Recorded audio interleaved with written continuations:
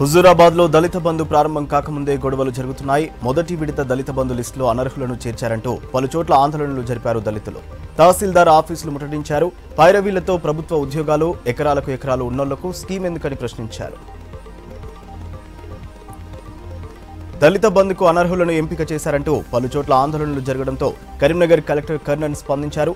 దళిత బంధు స్కీమ్కు ఇప్పటివరకు ఎవరినీ ఎంపిక చేయలేదంటూ ఓ ప్రకటన విడుదల చేశారు. ఇప్పటి వరకు కేవలం సర్వే మాత్రమే పూర్తయిందన్నారు. ఈ నెల పదహారున సీఎం కేసీఆర్ దళిత బంధు పథకాన్ని ప్రారంభిస్తారని చెప్పారు. సెప్టెంబర్ ఒకటి నుంచి అనాథల హోమ్స్లో సన్నబియ్యం పెడతామన్నారు మంత్రి సత్యవతి రాథోడ్. పిల్లలకు దొడ్డు బియ్యంలో ఎక్కువ పోషకాలుంటాయని పోషక ఆహారం కోసం మాత్రమే దొడ్డు బియ్యం పెడుతున్నామని చెప్పారు. సైదాబాద్ నింబోలి అడ్డాలో బాలబాలికల సదన్ హోమ్స్ ప్రారంభించిన మంత్రి ఇకపై సన్నబియ్యమే పెడతారన్నారు. టీఆర్ఎస్ ప్రభుత్వ ప్రజా వ్యతిరేక విధానాలను ప్రజల్లోకి తీసుకెళ్ళడమే బండి సంజయ్ పాదయాత్ర లక్ష్యమన్నారు బీజేపీ నేతలు. ప్రభుత్వ వైఫల్యాలను ఎండగట్టి ప్రజలను చైతన్యం చేస్తామన్నారు బీజేపీ ఎమ్మెల్యే రాజా సింగ్. ఈ నెల ఇరవై నాలుగు నుంచి పాదయాత్ర ప్రారంభం కానుండడంతో చార్మినార్ భాగ్యలక్ష్మి అమ్మవారి ఆలయంలో ప్రత్యేక పూజలు చేశారు. తర్వాత పాదయాత్రకు సంబంధించిన పోస్టర్ను రిలీజ్ చేసి బండి సంజయ్ చేపట్టబోయే పాదయాత్రకు ప్రజా సంగ్రామ యాత్రగా ప్రకటించారు. వరంగల్ అర్బన్ జిల్లా కమలాపూర్ మండల కేంద్రంలో మాజీ మంత్రి బీజేపీ నేత ఈటల రాజేందర్ చిత్రపటానికి పాలాభిషేకం చేశారు గొల్లకుర్మలు ఉప ఎన్నికల్లో గొల్లకుర్మలంతా ఈటల వెంటే ఉంటామని చెప్పారు. టీఆర్ఎస్ అభ్యర్థి గెల్లు శ్రీనివాస్ యాదవ్ను ఈటల కించపరిచినట్టుగా తప్పుడు ప్రచారం చేస్తున్నారని మండిపడ్డారు. ఇరవై ఏళ్ళ రాజకీయ జీవితంలో ఈటల ఎవరినీ కించపరుస్తూ మాట్లాడలేదని తెలిపారు. పద్దెనిమిదిన జరిగే దళిత గిరిజన ఆత్మగౌరవ దండోరా సభాస్థలి మార్చింది కాంగ్రెస్.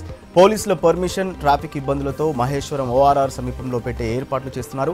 ఇవాల్టి నుంచి గ్రామాలకు సమన్వయకర్తలు వెళ్తారని ప్రతి ఎమ్మెల్యే ఇంటి దగ్గర పదవికి రాజీనామా చేయాలని డప్పు చాటింపు వేస్తామన్నారు నేతలు. వాటర్ స్పోర్ట్స్ పై మరింత అవగాహన కల్పించాలన్నారు గవర్నర్ తమిళిసై సౌందరరాజన్. హుస్సేన్ సాగర్లో హైదరాబాద్ సేలింగ్ వీక్ను ప్రారంభించిన ఆమె విండ్ ఆధారంగా ఆడే ఈ సేలింగ్ పోటీలు చాలా కష్టమైనవన్నారు.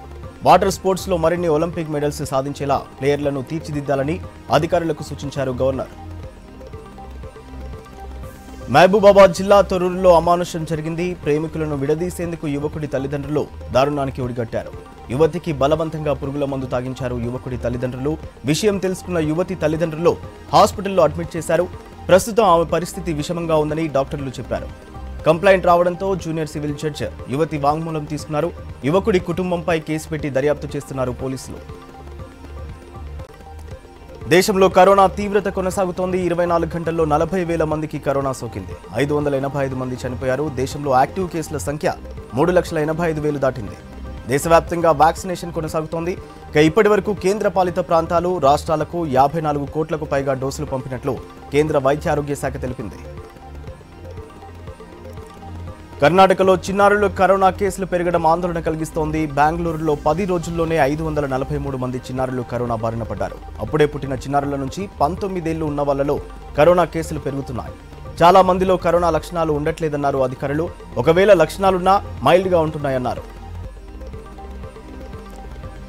హిమాచల్ ప్రదేశ్లో కొండ చర్యలు బీభత్సం సృష్టిస్తున్నాయి.